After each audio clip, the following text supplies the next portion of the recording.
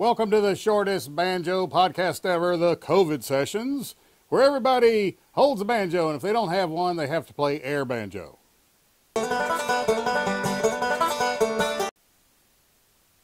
Marty Pollio was the first stand up comedian I saw do a live act at the Library Lounge in Lexington, Kentucky. That was a long time ago. And then when Night Court came on TV, a great old sitcom, I about jumped out of my chair seeing Marty playing a recurring character. Marty was generous enough to share his COVID life and other reflections on his career. Marty Pollio.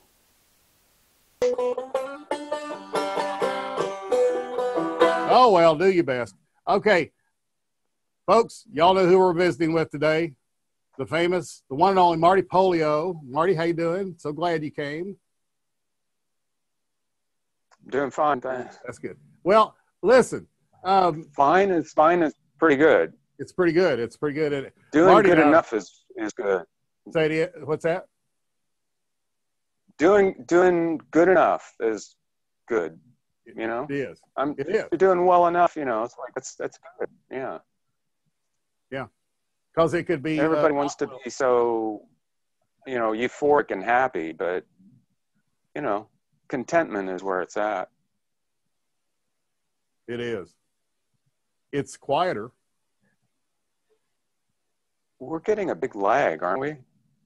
Not really. It's just i don't think real quick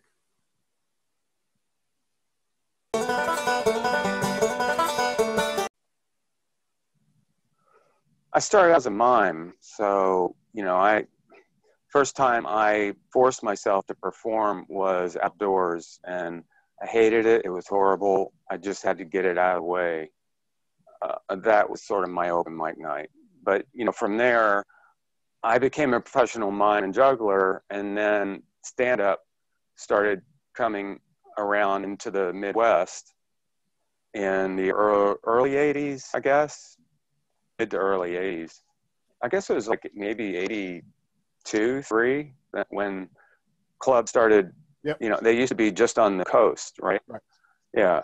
Um, and then and then mime became uncool uh, pretty quickly, and so then I made a transition, and I still snuck in my my old stuff, but um, you know, the transition of doing stand up came really pretty slowly. I would just I'd do my act and I'd do a little stand up at the end. I'd start talking, and so it was, you know, uh, it, it it it happened over a really super long period of time. You know, yeah. gradually uh, stand up became more prominent in my act, but it took me about took me about six years to start feeling kind of comfortable. The thing is, I never felt comfortable, and so I realized I was trying to look cool and act calm and you know do cool jokes and stuff, but I was always uncomfortable doing stand up until I figured that hey, you know, this is not going to change. So my demeanor became uncomfortable, and that was kind of my thing. Like, you know, all right, I'll get to the punchline, get off my back. So, were you the first talking mime that you had seen, or had that been done before? I don't really know. I mean, I I, I wasn't like mime mime. I, I didn't do the the cute stuff. I did what I called bar mime. That stuff was too cute for me. I didn't like Marcel Marceau. Well, they had. Um, I kind of like had, Shields and Yarnell. Do you remember them? See, he had everybody where you wanted to be able to look like you were in a box. Right. Yeah. Yeah. How was that? Was that good? I did that. I did that to music. Yeah. I, I, I did that to music. Oh wait, here. Let me see. I've got I've got my screen set up so I'm looking at me rather than you. That's okay. I see. So you didn't see my yeah. mime act just then? Do your mom. You didn't see it? Do it. Do it again. Go ahead. Yeah. Yeah, well, you're on the right track. I, that was just I'd never yeah. done it before. That was the first time. Four more years. Really, it takes that long to learn mime. You know, it looks like it does. No. yeah. I mean, it's yeah, not I like, do things that are, you know, my my talent lies in doing things that are easy and making them look hard. The juggling I do is elementary. Yeah. It looks fantastic. It's you know I'm I'm fast. Yeah. And but everything I do is simple. It's simple. I saw you, you juggle quite well. Uh, you have a an But see again, I my juggling is elementary. It just looks like I'm really good because I'm fast and I have kind of a unique style. But my juggling is really simple. You know, Yeah. and when jugglers see me, they say their comment to me is interesting style. I always I always make it look difficult. No, I I, a mean lot of people think I'm the best juggler they've ever seen. No, I mean because you were dropping the true, ball, because you were dropping the balls all the time. Is what I meant. Oh, And oh yeah, I drop a lot. I drop a lot. I'm not Yeah. that good. I'm, I'm telling you, I'm not that good. What? Yeah. That's what I'm saying. You're you're proving how hard it is uh, to juggle. But no, I've seen I've seen you do, I've seen you do a show where you didn't drop a ball. I remembered it.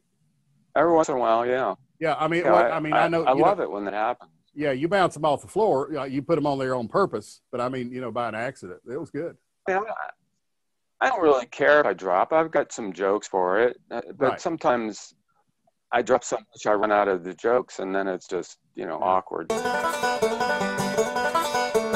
So now I'm just telling people, hey, when I drop, I'll drop some balls. I said, just don't let get you uncomfortable. I'm just you know up here, I'm you know, just, just trying to have some fun, and there will be some flow. You'll see it, you know, from time to time. did you I'm trying to quit. you didn't bring your banjo? No. Okay. You know you have to play air banjo, right? Any strings anyway, but with your right hand, start strumming like you're playing a air banjo. Uh-huh. Now you got to make the sound. Bing, ding, ding, ding, ding, ding, ding, ding. Go ahead while you're. Bing, ding, ding, ding, ding, ding, ding, ding, ding, ding, ding, ding, ding,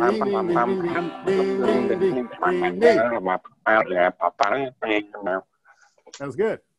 Thank you. Awesome. Okay, you've. Yeah, I was in an air guitar t- uh, contest one time.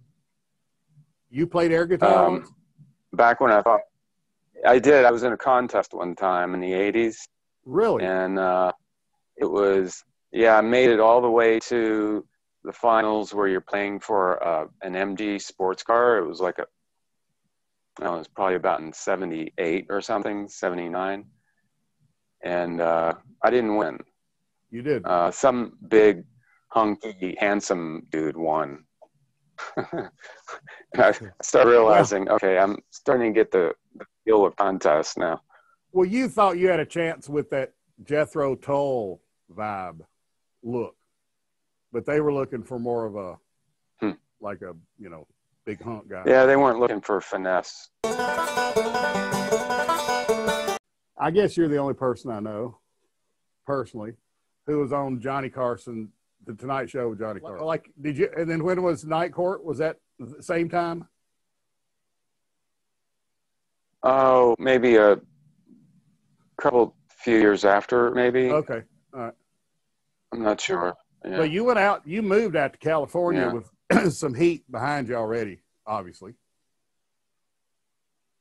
Not really. I, I mean, not really. No, I um, had established myself by going out there every summer and spending some time out there. I'd established myself in some clubs, and one in particular, the Hermosa Beach Comedy and Magic Club, and that happened to be the place where Jim McCawley, the talent booker for the Tonight Show, would go often because he felt like that was more representative of the middle of the country. That crowd was rather than going in town in in LA uh, Gotcha. to the Improv or the Comedy Store.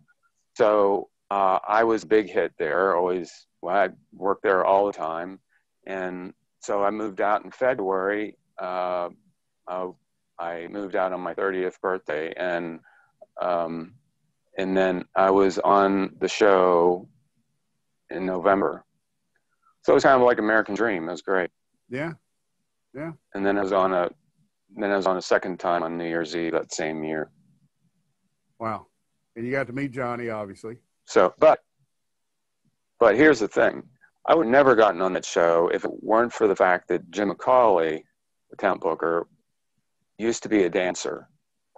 So he appreciated what I did. You know, Yes. he there was that factor that was very important.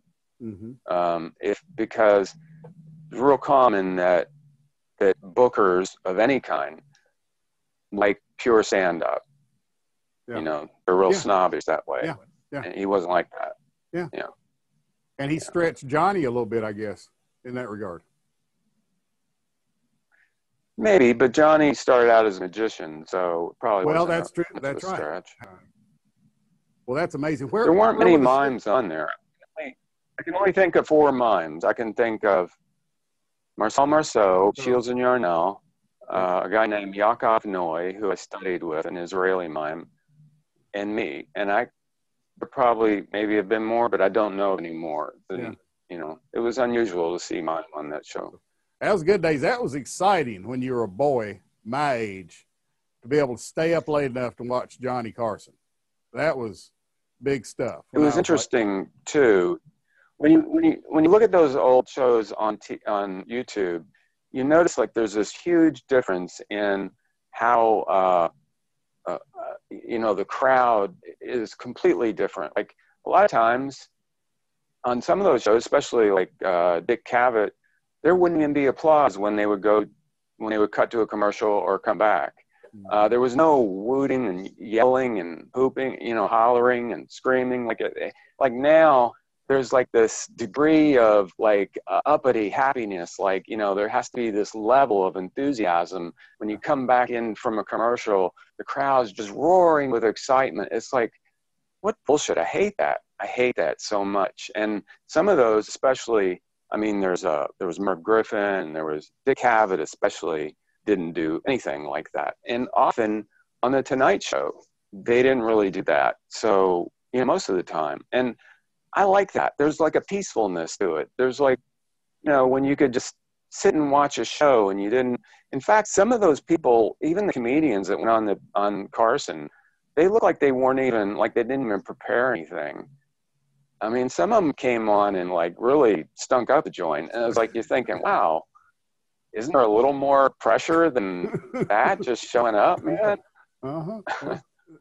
yeah, I remember. I think it's to me, it, it's this uh, proliferation of the of the idea that happiness is where it's at. Like everything has got to be happy, uppy, cheery. You know, it's Yeah. like Yeah. you know positivity and and you know um, I'm I'm going to support you in whatever you do, no matter who you are, what you do, what you say. I'm going to support like the way people are with kids, and it was just like I don't know. There's something that changed about just the fact that it's like what you said in the beginning. Like uh, when I said happy enough is pretty good. You know, Mhm.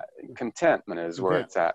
Like Sure. this this happiness factor has just gotten out of hand. You know, it's it's like there's too many plastic bottles and there's too much happiness out there. Uh, because happiness is not even that important anyway. I think it's bullshit. It's like you know, it's it's a fleeting thing anyway. Don't put too much stock in it because you're going to be disappointed when it when it goes. If you if you feel bad, just wait around a while. You'll feel better. If you feel great, really happy, that's going to change too. So, you know, it's just thing. It's just something. It doesn't have to be the end all be all. But that's the way culture has made it in this country. Oh, that's true. I'm I'm not so happy anymore. I think look at it that way, but maybe that's that's Uh, probably good that's my me. goal, man. I know that's good for me. But I you know, try- the, I try to take the happiness and the fun out of everything. Yeah. Well, I, I, listen, you're good at it, Marty. So you should be be Ah, proud. Thanks. I agree that it creates a, a more healthy, long-standing kind of a chill. If you accept the, you know, the low, it's more of a wavelength than it is just this highly Yeah. sustained, you know, uh, you, you can't, orgasms stop at some point Yeah. or call your doctor. Well, you know, people people think that I'm depressed because of my demeanor and my Yeah. monotone voice and all that, and that's sort of become part of my shtick on stage, I guess. But but I mean, uh, you're I'm earnest fine. about it. I, I'm hardly ever depressed. I'm just hardly ever depressed. I'm pretty content. Yeah. And you know, the shutdown hasn't really changed me. I haven't. Mhm. Uh, you know, I'm kind of a hermit anyway, and um, I've been doing fine. I, I, I kind of miss I miss live music and I miss playing basketball. Yeah, you think Yeah. it's funny that the liquor. What were you saying about the liquor stores? Mm-hmm. Yeah, isn't that hilarious? That that was from day one. That was an essential. I I think it's was one of the wisest decisions throughout the whole uh, pandemic. I mean, you know, you had to keep I people. Uh, guess. I mean, you're an alcohol guy. I'm not an alcohol guy. I think it's like scourge of the earth. I think it's awful. I think Really? it's the worst drug, the most dangerous drug. Um, you know, the, all the friends I've had that have met an untimely demise have 90% of them has been alcohol related. Um, I just now I've been partaking in recreational drug use in a, a responsible way, um, more so in this pandemic than before. But you know, I, I mean, you know, a little weed, mushrooms. I've got some acid I haven't taken yet. I just, you know, just kid stuff, you know. Right. But sure. Yeah. it's nice. It's Yeah. pleasant. It's not harmful. I mean, you know, it's like, and I'm careful. I didn't do anything for like I I was a pothead, and then when I was 24, when I was first starting out becoming professional, I decided I just couldn't do it. I I quit drinking, smoking pot, and smoking cigarettes in the same day, Mm-hmm. and I missed pot more than any of the other ones, uh, even cigarettes. Hmm. And uh, and I quit for you know 11 years or so, and and uh, then I don't know, just started doing it gradually. I'm I'm scared of messing with my serotonin levels, you know, because they say that that's one of the reasons why antidepressants became such a big thing in like the 90s, I guess, because the uh, Gen Xers, I guess they were mostly in the 90s. The Gen Xers were doing going to those raves and they were doing ecstasy, Molly, Mm-hmm. and that more than anything heightens your serotonin level where you're in total euphoria. Mhm. I haven't done stuff. I'd like to try it once, but I haven't. I haven't done it. But anyway, then your brain stops being able to produce its own serotonin levels, and and so that's what I'm respectful of. That's why I don't do stuff a lot. Yes. And then when I do do it, it's great.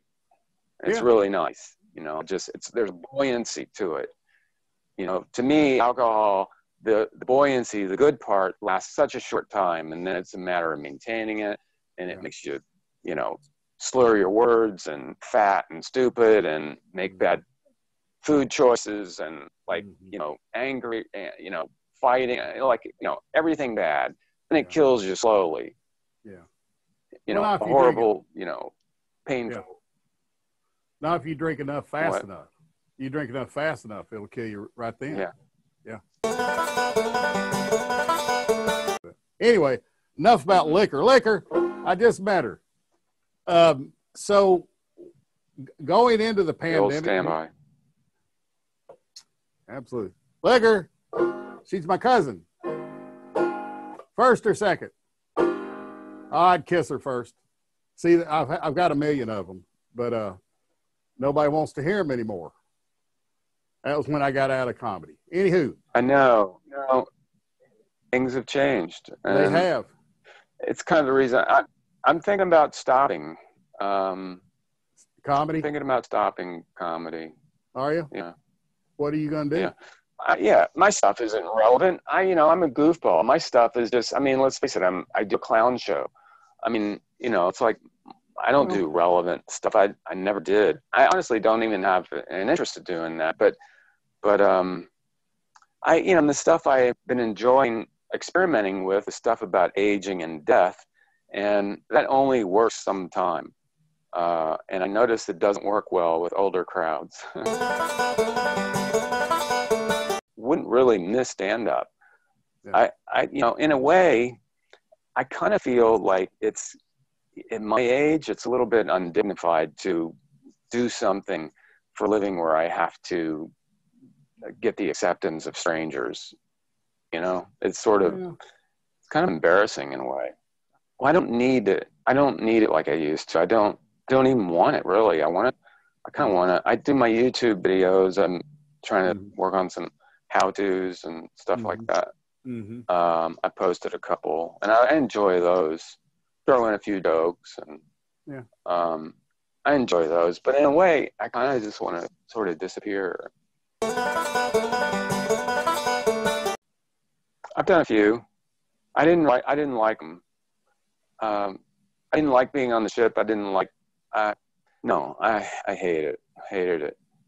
Nothing to do but eat all this rich buttery food and get gout. And it's just horrible. Gout. Some people That's- like them. gout. Oh, the cruises. Yeah, I know. Yeah, butter, big butter sculptures. They'd have butter sculptures. Yeah, That's how much butter there was. yeah. You know, shellfish and butter sculptures. If you were going to take on the persona of an animal to do a stand to to do your stand up act, you know, and craft actor, I mean, literally wear a cost, you know, costume. Mhm. What what animal would that be?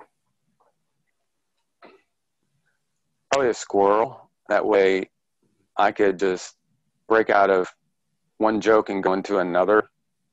You know, it's just like, you know, you know how they're bad at crossing the street. It's, you know, the ADD factor. It would be a great bailout for for jokes. You know, just you see something's not going anywhere, you just like cut out right mid sentence and then go to the next joke. Go to the next. Yeah, would you be could actually- New York. would you be a New York squirrel or a, a rural squirrel? Because there's a big difference. Um, I'd probably be a city squirrel because uh, I'm, you know, kind of getting kind of gaunt. What would be the squirrel's point of view other than just being skittish? Oh, definitely one-liners. No point of view. That's just true. random one-liners. That's true. Fast, fast, fast. You know, it's like one Yeah. to the next. Yeah. Yeah. Yeah, squirrel wouldn't get into like Yeah. some storytelling or anything. Absolutely not. No. No. You don't like this one? I got another one just like this. You know. You don't like that? I don't like it either. Let's do the next one. What's what's what's squirrel taste like? it's squir- it's squirrely. You know, it's kind of squirrelish. Really, is about the best description of it. You know, Uh, it's a it's a I heard, um, I heard there's some kind of little um gland that you have to remove somewhere, or or the meat is bitter. Huh. All this sounds just horrible to me. I can't, you know, imagine. I know that like if you're hungry enough, you can look at an insect and and think about deliciousness. You know, uh, that's going to happen to your brain. Mhm. Um, you can take the eyeball out of a fish because it has liquid in it. If you need that liquid and, and you don't think ooh an eyeball of a fish you don't think that. No, you just and then water. people who catch any kind of meat any kind of meat in a survival situation they, they call it first meat. Is supposed to be like wonderful no matter what it is. You need you need a scorpion after about four days.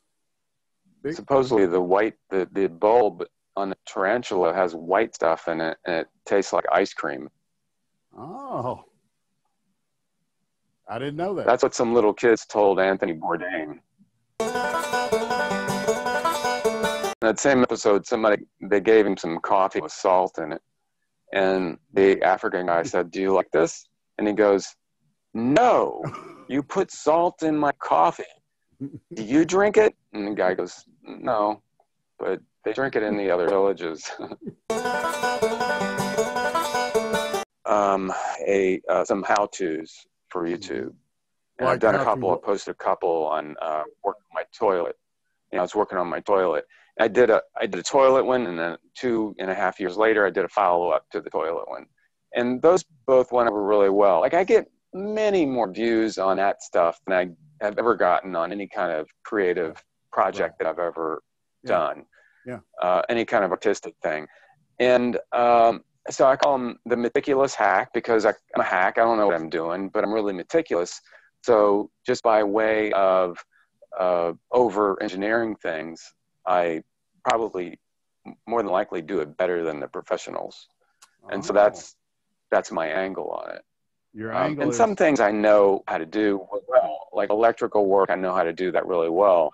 Uh, but some things I'm just total hack. You know, plumbing and toilets and all that. I hate that stuff. I hate it. Yeah, yeah. Uh, but you know, so there I am struggling with this, you know, big beast of burden. I hate those things. They're just so such old technology, and I'm bitching about it and coming up with better ideas and all that. So Yeah. so those those videos. In fact, I'm thinking about like doing them all uh, on just a, that same toilet. Like just keep doing a follow up on that toilet. Like Stay on the change toilet. the uh, the ring. Uh, yeah, I got I had, I, had, I made a um, a um, video or a, rather a fake window in my kitchen with a with a TV behind it, and I have you know an outdoor scene playing on it. Sometimes I'll just have screensavers on it. Everything I do, just about everything I do, is horrible. It's you know Yeah. horrible jobs that I should never take on. Well, Yeah, but I enjoy those. Yeah. I enjoy those. That's what I'm doing mostly, and and also changing people's minds on Facebook. You know, uh, change. You know, I can't tell you how many people have that said, "Hey, Marty, I thought I had my political views all together until I read your post. Now I've completely, totally changed my mind." He he is such a Trumpster, like Yeah. you know, Yeah. the ultimate Trumpster yeah, and and just any comment that anybody makes, he'll come in and trying to spoil your fun with you know some kind of comment to you know, and then somebody will say somebody will say, Mike, you need mental help, and he goes, oh, mental help is just for snowflakes. you know, it's so funny. You got to hand it to him. He's he's he's he stays in that group and just to give people shit. I do. I do too. I think you know it's. I was spending too much money in restaurants anyway, and um, I my activities probably will be curtailed maybe for the rest of my life now that I'm so used to things being the way they are now, um, and knowing that I don't need all that activity or stuff to do. It's uh, you know I'm fine. I can do my own thing. I can entertain myself. I'm I'm happy enough. peace, brother. All right, peace. Thanks for doing this.